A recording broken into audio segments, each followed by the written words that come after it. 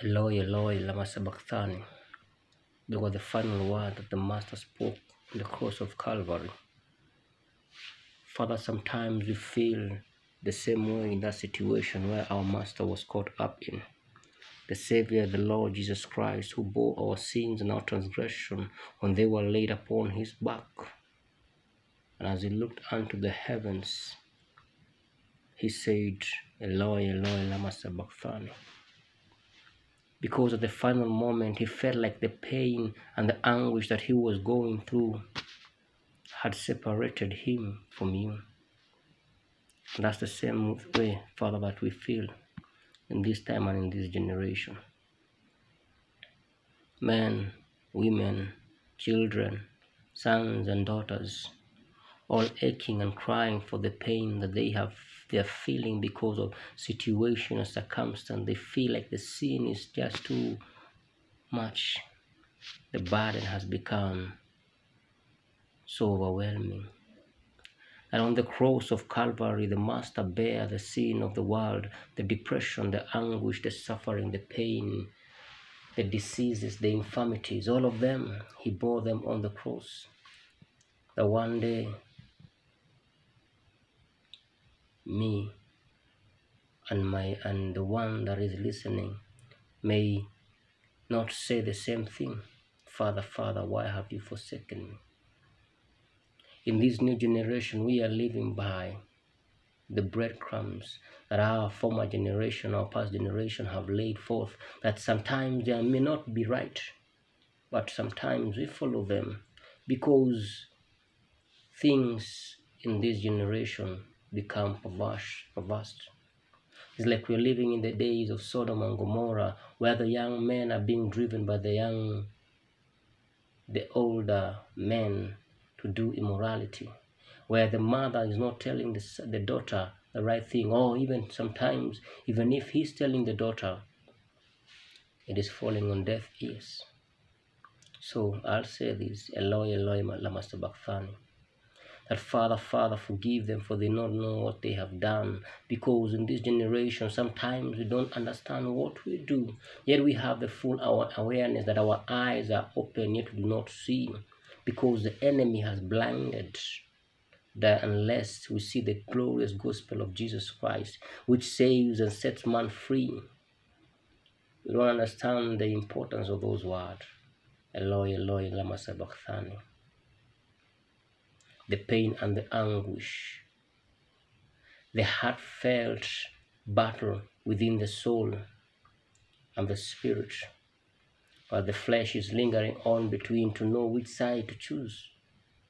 But the biggest war waged on between the soul and the spirit. That's why our, miss, our Master and Messiah, Savior Jesus Christ, on the Garden of Gethsemane, he fought the greatest battle ever the battle of the spirit and the soul. And at the cross, when he said, Eloi, Eloi, lama sabachthani, for once in his lifetime, he felt like, Father, you have departed from him. That makes me think. That makes me wonder. Is it the pain and the suffering and the sorrow that the generation is going through? Father molesting their daughters, sons uh, going through stuff, having no direction or sense of guidance in their life, that they turn to drugs, sex, uh, sugar mummies, and some into other other kind of things that are not worthy to mention. But homosexuality, they have lost the, the importance of their organs and they are using them for vanity of vanity, thinking that the immersion of wealth is what is required. But at the end of the day, the psalmist spoke and said, Vanity of vanities. Eloi, Eloi, lama sabachthani. Is the pain that we feel when a young lady is raped and left to bear children, and in the suffering and in the anger, anguish, she feels like Hagar when she was cast out by Abraham. But Father, there is a voice that speaks, a voice that speaks that we don't understand, a voice that speaks that we have not been taught. Like David in the wilderness, he'll say, I look unto the hills, for where does my help come from? My help comes from the Lord. Now we don't have hills, we have cities being built in the name, and the churches are being built in the name of our Lord, but perversion seem to have entered, witchcraft, uh, sorcery seem to have entered through those doors. Father, where do we turn to? Where do we turn to? We look unto Joshua. He says, As for me and my house, we will trust the Lord. As for me and my house, we dedicate ourselves to the Lord.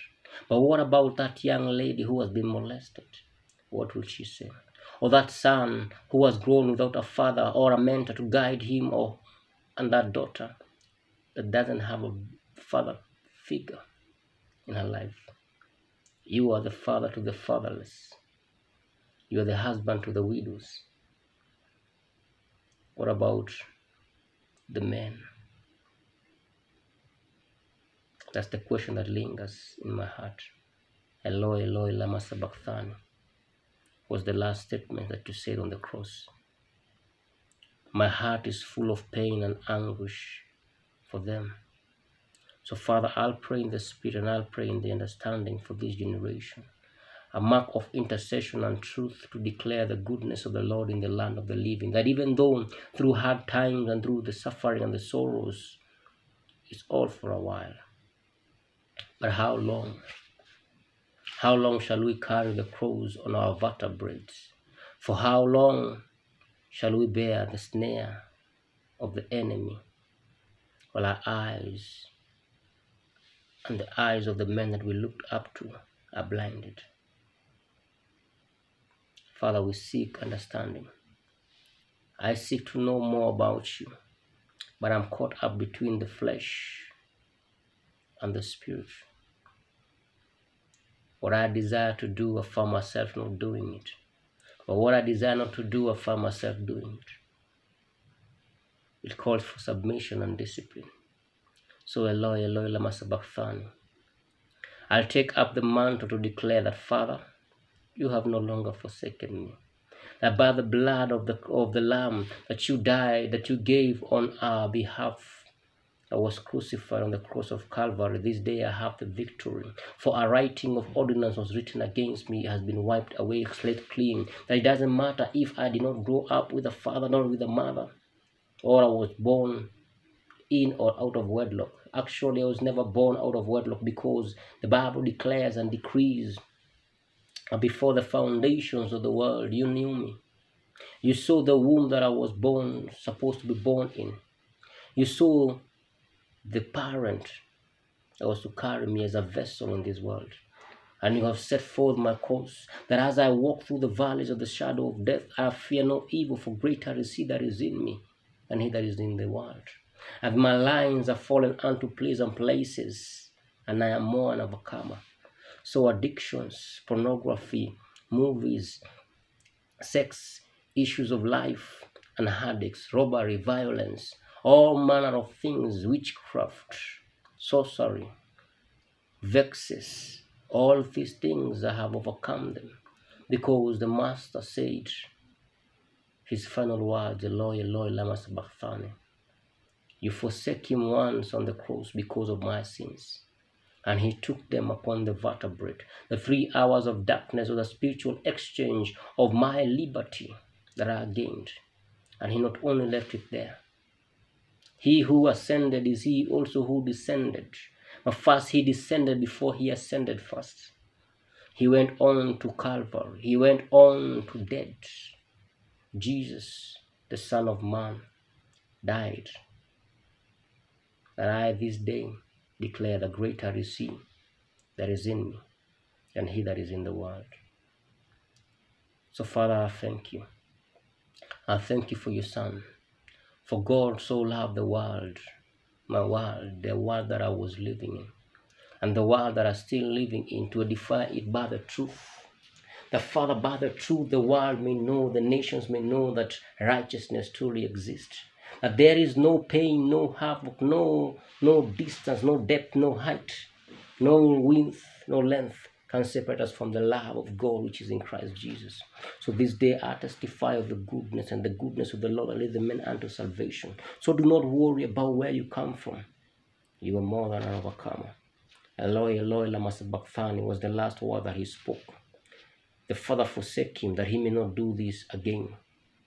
He did it on Jesus because of our sin. That this day we who are born in Christ Jesus, because of the virtue of his death on the cross, the Father will never forsake us. Because he spoke and said, I'll never leave you, neither forsake you. He who has seen me has seen the Father. So if Jesus lives in us, that means the Father lives in us. Therefore, the Father will never forsake us. Mind and understand the statement that the Master spoke on the cross of Calvary Father, Father, why have you forsaken me?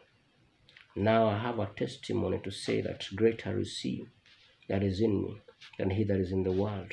That my Father lives in me. My physical Father may not be there, or may be deadbeat, or may be doing other things. But I thank, I thank you, God, because you never leave me, neither forsake me. El brocos que el frades que la armanande le que de ercabantes. By the declaration of my spirit, you are my Father and my God. Glory to your name, and forevermore, glory to you, God. Amen.